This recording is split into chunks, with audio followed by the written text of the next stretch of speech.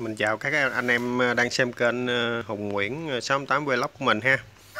À, Thì hôm nay mình review cái cái loại DH05 này các bạn ơi. DH05 này thì mình xài nè. Đây ha. Cái hàng này là để là DH05 Siêu kích bông xoài, chống nghẹn hoa và chai đầu đọt. Thì cái gói này là nó 500g nhưng mà mình cân lên thì ờ, nó được tới ờ, khoảng 600 gram các bạn. Để mình quay cái mặt sau cho các bạn coi ha. Rồi mình nói cái công dụng ha. Đây. Công dụng của nó nè, chuyên xử lý xoài ra hoa nghịch vụ. Sớm ra hoa theo ý muốn sẽ ngọn, kích cựa gà, bung mạnh, đồng lọt, cựa gà sung khỏe, kéo vọt cựa gà nhanh, phát triển dài mập, sáng nụ khắc phục hiện tượng ra hoa, nghẹt hoa, che đầu đọt. Đây cái liều lượng hướng dẫn của nó nè. 30 tới 40 g 16 lít nước. Dùng trong cái thời điểm cây chưa nhú chớm cự gà ha. Thì cái thằng này ở đây, nó chỉ ở cái thành phần của nó thì chỉ có để là đăng ký là bo thôi các bạn ơi. Thì đa phần các loại phân bón lá bây giờ thì nó nó để gì không mà nhưng mà ở trong thì nó trộn, nhưng mình không biết đâu. Cái thằng này thì của cái công ty là Nutifer ha. Long An nè. Đây là mình cắt rồi nè cái bột cái bột của nó thì màu trắng vậy ha các bạn. Thì nhìn cũng giống như thiêu rê nhìn cũng giống như mấy các thằng khác thôi. Nhưng mà cái tỷ lệ nó chọn trong đây thì mình không biết là cái giống gì trong đây đâu. À, cái thằng DH05 này thì ờ, nó cũng giống như các loại DH05 khác thôi các bạn ơi. Mình thấy cũng tương tự à. Nhưng mà được có một cái là khi mà mình kích ờ, kích xoài mà trên cây xoài của mình á, là vừa đang có bông á, đang có bông ít ít á. trời một mớ chưa ra bông á, thì mình sử dụng cái thằng này nè là mình kích được cho mấy thằng kia ra mà không nó ít hư hại cái bông cũ ha. Nhưng mà cái liều lượng ở trong này nè đã để 30 tới 40 gram thì ờ, thực chất là 30 40 gram rất là nhẹ các bạn.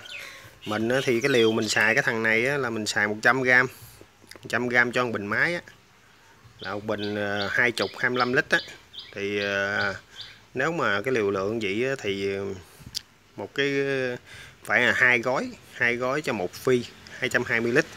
Thì nó mới có hiệu quả để mà mình nhìn thấy rõ rệt ha. Tại vì cái thằng này thì mình xài cũng cũng được hai lần hay giờ lần này lần thứ hai mình cũng đang soạn kích ờ, đợt 2 đó. Kích đợt 2 thì mình xài thằng này nè. Tại vì trên cây của mình bây giờ hiện tại nó đang có một mớ bông. Rồi nó có một mớ chưa ra bông. Thì ờ, mình phải xài này.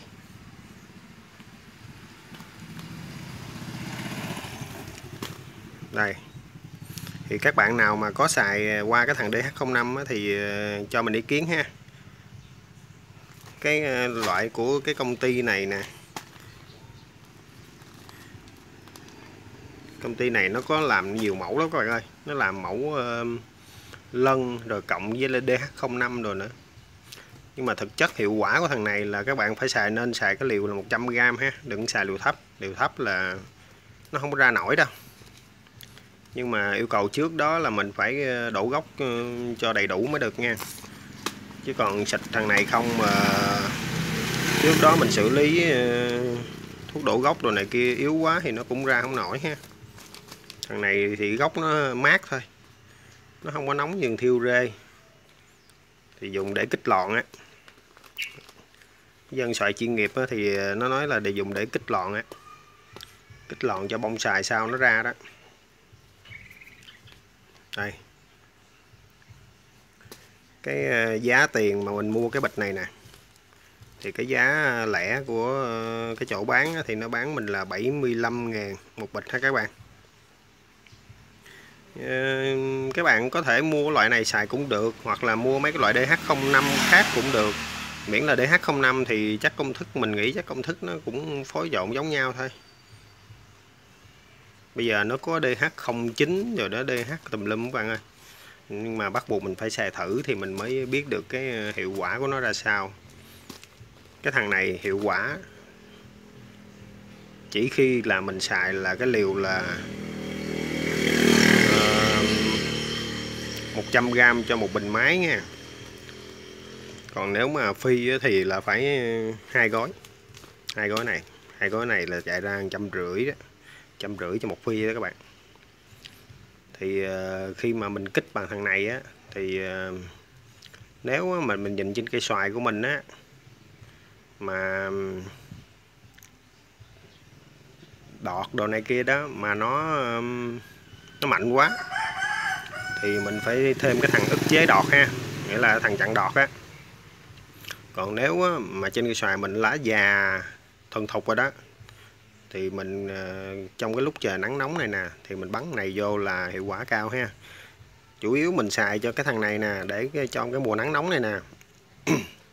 Là tại vì ờ, bữa giờ nắng quá.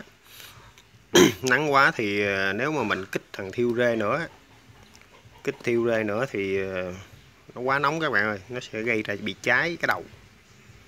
Thành ra mình đổi ha mình đổi thuốc. Đây nãy review cái DH05 này cho các ờ, bạn coi ha. Rồi chào tạm biệt các bạn. À, bạn nào à, coi mà chưa có đăng ký kênh ủng hộ mình á, thì giúp mình ha giúp mình bằng một lượt đăng ký và một uh, lượt chia sẻ hay là một lượt like gì đó mình cảm ơn các bạn ha. Chào tạm biệt các bạn. Rồi ờ, mình sẽ giới thiệu những cái loại thuốc khác ờ, trong các clip sau. Cảm ơn các bạn.